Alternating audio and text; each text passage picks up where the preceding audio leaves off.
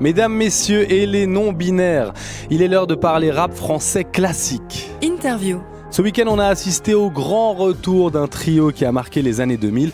J'ai nommé SNIPER, Sniper. Aketo, Blacko et Tunisiano sortent leur quatrième album commun, et ce après une séparation de plus de 12 ans. Je les ai rencontrés cet été au Royal Arena Festival. Première question élémentaire pour un groupe qui se remet ensemble, comment a germé l'idée d'une reformation? Une espèce de chassé croisé en fait. Les, Ah. les énergies ont convergé. Ouais, je sais pas, il fallait que ça se fasse, c'est tout, tu vois. Moi, il y avait, il y avait un pote qu'on avait en commun, on en a discuté nous de notre côté, après lui de son côté. Voilà, après il y a eu un pont, on s'est vu, et puis fin. euh, Et fin au début, au recommencement justement. En fait, il, fa- il fallait vraiment déjà qu'on qu'on reparle entre nous avant Ouais, de- C'était amical avant d'être musical. même. avant d'envisager quoi que ce soit musicalement. Voilà, il y a eu des événements dans nos vies chacun, on est tous devenus papa. Ouais. Euh, voilà, il fallait que fallait, fallait qu'on se parle tout simplement. Il fallait qu'on se parle et les discussions ont été fructueuses. En 2016, Sniper a effectué une tournée Revival et bim, deux ans plus tard, ils sortent un nouvel album. Le disque de la semaine.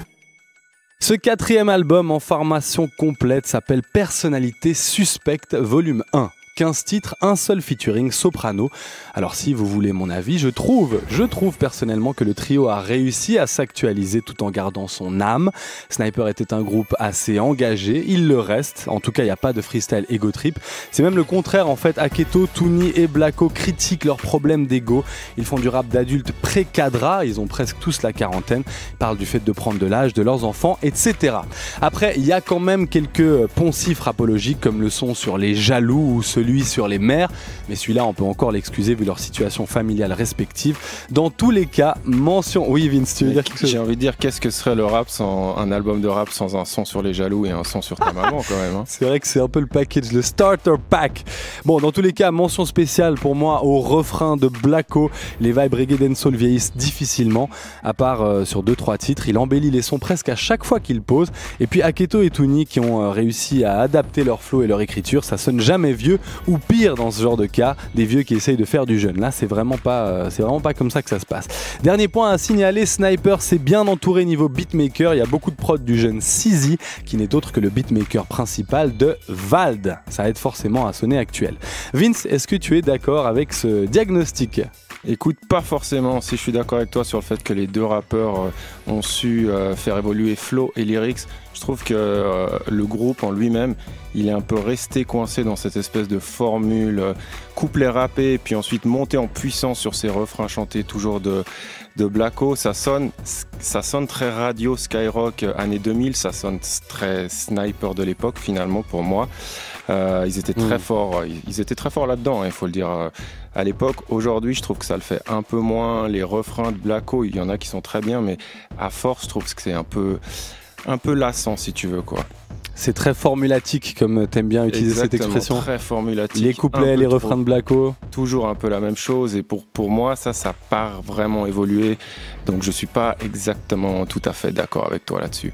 Bon, moi j'avoue que j'ai un faible hein, pour les, euh, vraiment le, le reggae, le dancehall. Toi aussi en vrai, mais euh, je trouve dans le rap français, ça, cette combinaison n'a pas beaucoup existé au final. Des groupes avec un mec qui faisait les refrains en mode reggae dancehall, euh, même comme ça en cherchant, il n'y en a pas beaucoup. Il y a eu des morceaux, hein, il y a eu Ma Benz de NTM, etc.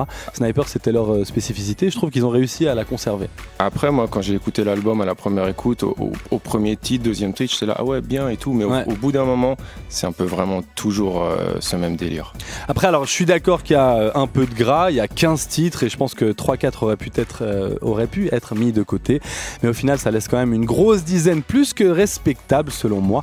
Et j'ai eu de vrais coups de cœur. Je crois que toi aussi, tu as bien aimé le morceau Je suis.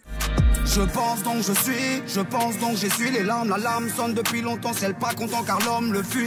Défendu et le fruit, dans le piège on est pris. Je suis cet extrait de cet album Personnalité Suspecte volume 1, le grand retour de Sniper. Et euh, voilà, je pense que ça le prouve. hein. Sniper a complètement adopté les codes actuels du rap, la rythmique trap, les voix autotunées. Retour à l'interview, ils expliquent comment s'est faite cette mise à jour. On essaye de faire un truc qui nous ressemble, tu vois, en, en s'adaptant au code qui est demandé en fait. Voilà. Aujourd'hui, Autotune, on dirait que c'est obligatoire. Que si tu l'as pas, t'es pas dans le coup. Donc on s'est dit, En fait, vas-y, si- on s'est dit, viens, on le teste, on le met, tu vois. Mais comme j'ai dit dans l'interview précédente, le, Le tout est de pouvoir chanter sur scène après sans ramener l'autotune. Ouais, de ouf, de Ah, ouf. chose que, sans faire que du playback. Ah, chose qu'on s'habitue aujourd'hui. la forme de rap actuel, pour nous, c'est une arme Ouais. pour faire passer no- notre fond, tu vois. C'est juste une forme. Et le fond. Non mais d'une ma- façon, d'une manière générale en fait, les, les formes elles ont toujours changé en fait. Ouais. C'est-à-dire que nous, tu vois, nous on est arrivé euh, à l'époque, je m'en rappelle déjà quand, quand le- à notre premier album, peu de temps avant ça, euh, on nous parlait de ancienne école, nouvelle école. Ça veut dire que tu vois, c'est limite, c'est les mecs qui rappaient sur des breakbeats, tu vois, nous on est arrivé sur des boom boom tchak, tu vois, c'était différent. Aujourd'hui, tu te rends compte que ça change. Et puis en fait, c'est c'est uniquement de la musique. Ça veut dire que quoi qu'il arrive, si le message est bon et si euh, les lyrics sont, sont, sont au rendez-vous, tout va bien, tu vois. Après le reste, frérot, qu'il y ait de l'autotune, qu'il y ait des délais, qu'il y ait de la tra- qu'il y ait des prods ou qu'il y ait du sub ou ce genre de choses, on s'en fiche au Et bien final. même, j'ai envie tu de vois. te dire, l'essentiel, c'est que nous, on soit satisfaits. Vous avez entendu Tunisiano dire qu'à l'époque ils sont arrivés sur du boom boom tchak car oui Sniper sont de jeunes vétérans, leur premier album est sorti en 2001, il contenait notamment un morceau battle Aketo versus Tunisiano.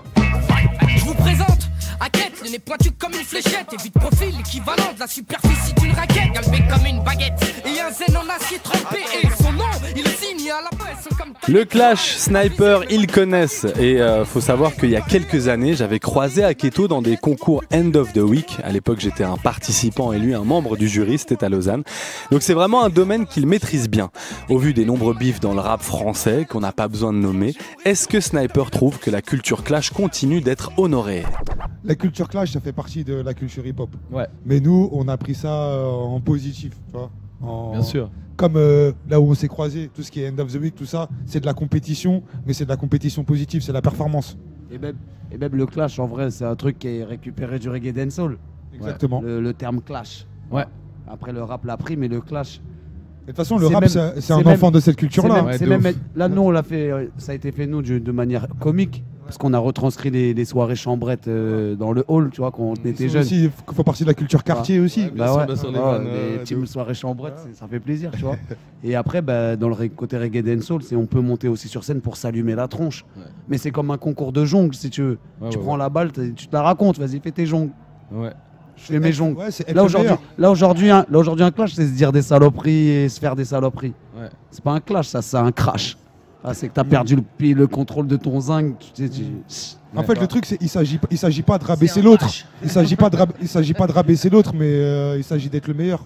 Ouais. En fait, tu vois. Mais dans, dans une bonne vibe, tu vois. C'est comme un tournoi de, de- de karaté, je sais pas, tu vois. tu À la fin, ça se salue. Avec Ouais, tu vas chercher la médaille, frère, c'est tout. Tu t'es entraîné pour ça, frère. Bah, c'est vrai, tu vois, que ce soit dans n'importe quelle compétition, tu vois, que ce soit, bon, là on parle du rap, mais euh, même dans le sport de haut niveau, tu vois, peu importe euh, la discipline, tu vois, ça veut dire que que ce soit le noble art ou que ce soit le foot ou que ce soit autre chose, sur le terrain ou sur le ring ou, euh, ou même sur scène ou ailleurs ou devant le micro, euh, tu fais pas de cadeau, mais une fois que c'est fini, euh, Dans les bras après. Même des une fois, boxeurs. une fois que c'est fini, on passe à autre chose, Ils s'éclatent la tronche, les gens au MMA à la fin, ils sont là. Ouais, c'est lui, il a gagné, bravo ma gueule, tu m'as tu m'as pété la gueule, bravo, lève ton, je lève ton bras. Le truc, c'est de se surpasser. Et si tu t'es fait casser la gueule, tu te dis quoi? Bah, je vais retourner m'entraîner pour être meilleur la prochaine fois. Être meilleur la prochaine fois, c'est ce qu'a fait Sniper après son premier album. Le deuxième, Gravé dans la roche, a en effet rencontré un large succès commercial. C'était en 2003, souvenez-vous. Gravé dans la roche. Gravé dans la le single éponyme qui était produit par un certain Yvan, hein, notre Yvan national de Double Pacte. Alors je leur ai demandé comment est-ce qu'ils s'étaient rencontrés. Mais la connexion, elle s'est faite justement parce que on avait kiffé Double Pacte et notamment aussi des prods qu'il avait placés sur des, sur des gros projets français. Je sais que sur première classe, il avait placé des prods. Il avait, De ouf. il avait placé pour Pete, Pete Bacardi, euh, ouais. pour J album. aussi. Il avait fait un Ouais, remix pour le remix, exact. Voilà, il, a, il a- tu franchement, vois, il, avait franchement- placé, il avait placé des gros titres de rap français. Yvan, il a toujours Ouais. été super chaud, hein, d'une façon, Ouais, ouais. de manière générale. hein. Franchement, c'est, c'est, c'est- c'était incroyable à l'époque. C'était dans les pointures à l'époque. hein. Lui, Jimmy Finger, c'est tout ça, c'était la crème. Ouais, hein. je sais pas si vous vous rappelez, il avait même été élu genre meilleur producteur par euh, Groove Magazine ou Ouais, un truc ouais, comme non, ça. c'était ouais. très très chaud. Ça, Très c'était très ouf. chaud. Yvan, était super chaud à l'époque. Vince, toi tu te souviens de toute cette époque justement où euh, carrément il trônait hein, dans les tops euh, Groove Magazine en mode euh, premier ex justement avec je crois Jimmy Finger. À fond, on parle souvent du fait que les rappeurs suisses commencent aujourd'hui à percer en France, mais avant les rappeurs, il y avait un producteur qui avait grave percé, c'était Yvan. Et euh, pour l'occasion, tu nous as mis des tapis exclusivement produits par IVAN. Shout out à lui, shout out à Double Pacte. Donc il vend un faiseur de hit, hein, à tel point qu'en 2006, sur le troisième album, Sniper refait appel à lui pour son single Brûle en feat avec Joey Star. Brûle, brûle, brûle. Je veux t'entendre crier, tu hurles. Que la chaleur transfonde les barreaux des cellules. Qu'elle incinère ton système qui part en testicule. Va y avoir Cet extrait de l'album trait pour trait. Alors dans la foulée, il faut savoir qu'Aketo a vécu en Suisse à un moment, donc ils connaissent vraiment bien les environs. Je lui ai demandé à Aketo s'il se souvenait de- du premier contact qu'il avait eu avec notre cher LVC. Bah, sur le premier album du Rire aux larmes, on avait fait. euh, maintenant, c'est des souvenirs qui sont lointains, mais je sais qu'on avait joué deux trois fois en Suisse. Ok, ouais. À l'époque du, de du Rire aux larmes. On est Ouais. passé- Si, si, on est passé plusieurs fois. Ouais, ouais. Avec le premier album, je crois, deux Ouais, ou trois fois. ouais, déjà. deux trois fois. Ouais. Et puis euh, voilà, on connaissait un peu le rap suisse. Moi, je sais que plus jeune, j'aimais bien Sens Unique, Ouais. qui est un Ouais. groupe de Lausanne. Ouais, de ouf. Unique Records. J'aimais beaucoup. quoi. J'étais un, Ah, coll- ouais. un collégien, quoi. Ouais. J'étais un, j'étais un minot. Ah, Petit boss. Alors moi, je, boss. moi, je viens de Genève, frère. Et petit boss. Petit boss, grande. Ah, en fait, grande tu sais quoi, de, vu de la France, je me souviens que la Suisse, pour moi, c'était euh, le pays euh, hip-hop. Tu vois. Ah ouais, déjà. à Ouais, l'époque, hein. c'est ça avait cette image de Ouais, la parce bonne que- ambiance parce hip-hop. qu'à tu vois. l'époque, les Quinry, euh, quand ils venaient en concert, ils passaient plus en Suisse qu'à Paris. Qu'à Paris, mais- ouais. Ouais. Ah. Et, et en France, peut-être il y avait déjà un peu ce truc de vouloir euh, avoir sa, son identité propre. peut-être Je sais pas, mais en tout cas, euh, l'image que j'avais, et même il n'y a pas que la Suisse, l'Allemagne, la Suisse, tout ça, on sentait Ouais, qu'il y avait de la, le, bon, le bon délire hip-hop, tu vois. La Suisse au lieu du hip-hop à l'époque, Vince, est-ce que c'est vrai cette histoire comme quoi les Quinry passaient plus euh, en Suisse qu'en France, tu penses? Le truc, c'est que dans les années 90, quand ils passaient en France, ils, ils se retrouvaient à se battre avec le public souvent, je crois. Il y avait des histoires de malades où les, les Redman se faisaient courser dans les rues de Paris. Donc j'imagine qu'ils préféraient venir en Suisse où ils étaient peut-être un peu mieux accueillis. Bon, ici aussi, il y en a qui se sont fait voler des vestes. hein. Tu, tu connais cette histoire à Genève, là, au Petit Palais, je crois, à l'époque. Un des rappeurs. Est-ce que c'était Edoji? Non. Bref. Tu ça te dit rien, un Non, des rappeurs qui s'est fait voler sa, sa- sa veste en cuir. Retour à la musique, retour à Sniper. Vous entendez ces extraits d'interviews, c'est au Royal Arena Festival. C'est pour ça qu'il y a du bruit derrière. C'est pour ça que j'ai perdu ma voix parce que j'avais beaucoup crié. Retour à Sniper. Est-ce que vous le saviez Les membres de Sniper ont tous des activités et compétences annexes. Évidemment, chacun a sa carrière solo, mais aussi Aketo graphe, Blacko compose des beats et Tunisiano utilise sa plume pour d'autres personnes. Il a écrit pour des chanceux- chanteuses de variété notamment. Est-ce qu'il continue à le faire? Ouais, ça, toujours. Ça veut dire que, tu vois, j'écris pour Joe Dassin. non, je rigole. Mais euh, ouais, c'est vrai, effectivement, j'écris. Ouais. J'écris, j'ai écrit pour pas mal d'artistes, tu vois. Tu Et puis, ouais, je continue, ouais. C'est Tu peux nous dire quelques noms d'artistes ou c'est confidentiel? Ben non, même pas, mais euh, y a- y a- j'ai j'ai rien à cacher. Mais euh, tu vois, là, ça fait un bout de temps que effectivement là, j'ai rien placé parce que tu vois, là, je suis vraiment sur Sniper et sur autre chose. Mais euh, euh, auparavant, tu vois, j'ai placé sur Angoon, j'ai placé sur Tal, j'ai placé sur Amel Ben, j'ai placé sur euh, différents artistes comme ça, tu Ah vois. ouais. Alors la question, c'est est-ce que ça, ça met du bon beurre dans les épinards de placer pour des artistes de variété française? Ça met du beurre de karité. Bah écoute, frérot. euh, en fait, en fait, euh, le, euh, là, si, si vraiment tu veux, on veut parler de beurre, c'est il faut que, il faut que tu arrives à écrire sur un single. Mais, mais si t'écris pas sur un single, c'est juste un titre qui va finir dans un album. Bon bah il se passe, euh, c'est bien pour le CV, mais il se passe pas grand chose quoi. Ouais, alors à la suite de cette réponse, j'étais un peu, euh, un peu déçu. Je me demandais quand même, euh, quand t'écris pour Tal ou Angoon, euh, ça m'étonne un peu que tu ne puisses pas remplir le frigo pour quelques mois au moins. Mais bon, Tunisiano nous dit que sincèrement, c'est pas le cas, donc on va pas remettre sa parole en cause. Bref, dernier point, le saviez-vous? Tunisiano est aussi producteur. C'est lui qui a découvert Vald, une des grosses success stories du rap français de ces dernières années. Il explique. Je suis très content, tu vois, ça veut dire que ça fait un bout de temps que on l'a signé en fin 2013, tu vois, là aujourd'hui on est en 2018, enfin, tu vois, il, il se passe, euh, il se passe euh, quelque chose. euh, au- Déjà depuis au- un ou deux ans quand même. Val, Ouais, depuis un ou deux ans, tu Ouais, vois, depuis ça, ouais. Agartha et puis même depuis NQNT2. Mais euh, ça a été compliqué, tu vois. Ça veut dire qu'on a vraiment bossé, on n'a pas lâché l'affaire. Et puis en fait, c'est une nouvelle, c'est une nouvelle approche. et puis en fait, moi, c'est quelque chose de. Bah, c'est quelque chose que, qui, qui me, qui me fait kiffer au final parce que tu sais. Même si aujourd'hui j'ai l'impression de passer le relais, même si c'est pas, on n'est pas vraiment dans la même, euh, dans la même euh, catégorie euh, rapologique, tu vois. Mais, mais, mais concrètement, tu vois, le fait de, le fait d'être, de constamment œuvrer par rapport à, par rapport au rap, c'est, c'est, c'est ça que j'aime. Œuvrer par rapport au rap, c'est ce qu'il aime, Tunisano. Alors on lui souhaite de pouvoir continuer à s'épanouir dans ce domaine. Ça semble bien parti puisqu'aujourd'hui Sniper sort son quatrième album, Personnalité Suspecte Volume 1.